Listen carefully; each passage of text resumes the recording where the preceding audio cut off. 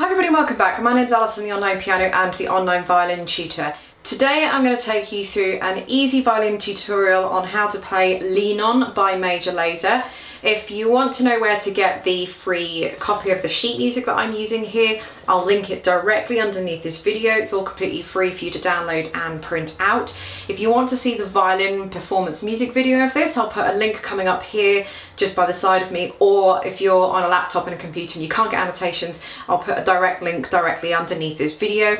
And if you want to know how to play an easy version of this on the piano, I will link that directly underneath the video as well.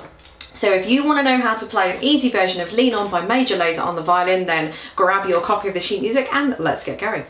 So I'm just going to very quickly explain what I've done with the music just for anybody out there that doesn't know but you will notice that all of the notes have numbers above them and these numbers refer to the finger fingering or the fingers you're going to be putting on the violin. The letters above that refer to the string that you're going to be on so you've got everything that you need to know. So for example the first note is a second finger on the D string, a third finger also on the D string. Then you've got a one on the A, another one on the A, a third finger on the D string, second finger also on the D, second finger. So you're gonna, all these are gonna be on the D string until it tells you to change otherwise. So that's pretty much it with the concept that I've done here. It's two, it's two full pages long and I've written it out in its entirety so that you can follow it along with a backing track if you have one. This is in the same key as the original so if you manage to get yourself a backing track somewhere um, you should just be able to play it straight through from start to finish.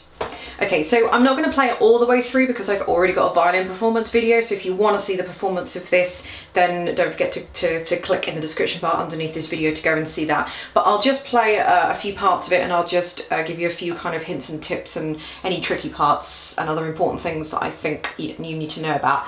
So to start with, you've got your four bars rest then.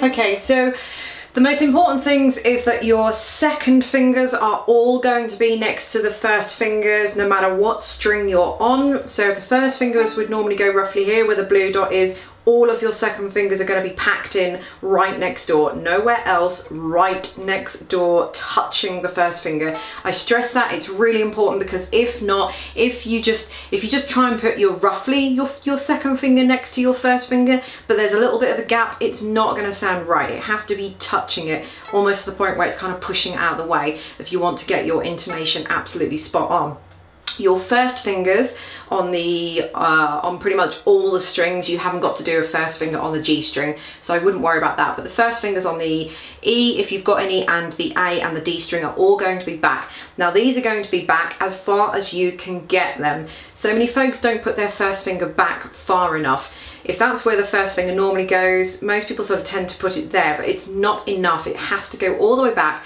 until you feel the ridge or what we call the nut of the violin. So even when I do it, the pad of my finger isn't on the ridge, it's just on the bit above it, but I can feel the ridge with the sort of, with the back part or the side part of my finger. So it has to go really far back.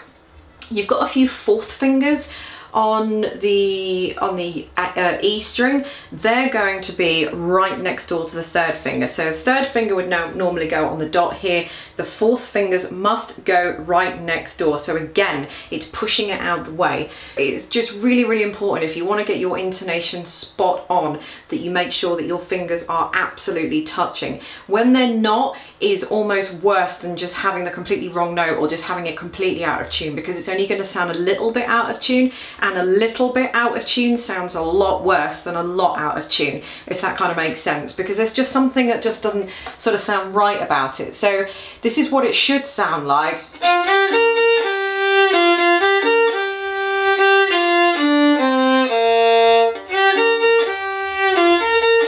So if it's a little bit out of tune,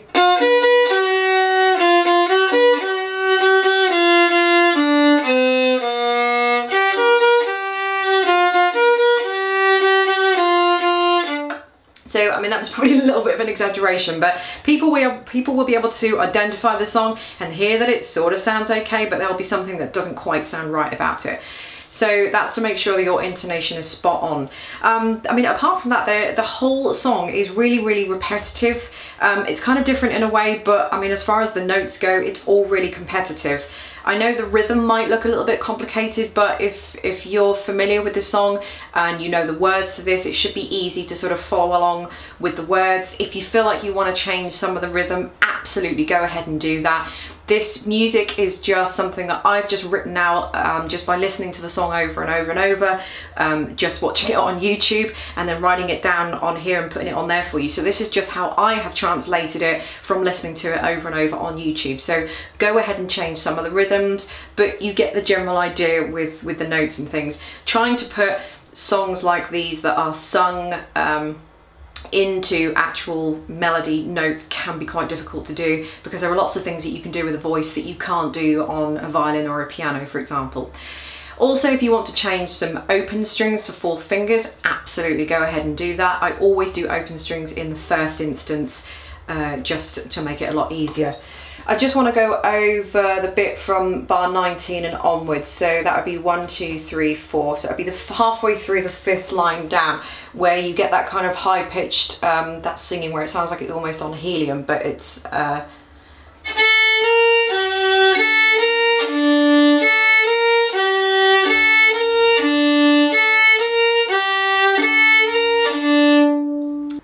there's nothing particularly complicated with that. I just wanted to play that through for you. You could play that an octave higher if you wanted to. So you could do three on E and then the four on E, which is next door to it, and then a two on E, and then moving down to three on A. So three, four, two, three, four, three on the A, and then it just repeats.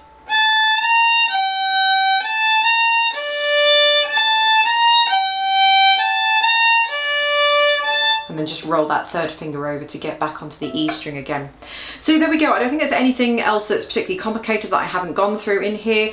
Um, oh, there's just a little bit at the end at bar 55. So you're about halfway through the second page from about bar 55, those two lines. So one, two, three, four, the fifth and the sixth line on the second page if you want to because they might be a little bit complicated but I did leave them in it's kind of like an instrumental part um, and it is quite complicated because it does go quite fast but some you might see it as a nice challenge which is why I did decide to put it in because I played it when I did the performance of this but if you want to leave out uh, lines five and six on the second page. So if you do decide to leave out lines five and six, you want to count eight bars rest. So there's four beats in every bar. So in other words, count to 16 and then you'll hear when it comes in with the with the chorus again. And you'll hear it comes in the chorus again, which starts on the bottom two lines. And then they, they basically repeat. So there we go. Thanks very much for watching. Don't forget to check out all the links underneath, directly underneath this video. And there'll be a playlist, a link to a playlist as well. I've got lots of other performances and videos like this and all the sheet music to all of that and all that kind of thing. So thanks very much for watching. Hope you enjoyed the tutorial and I'll see you in the next video.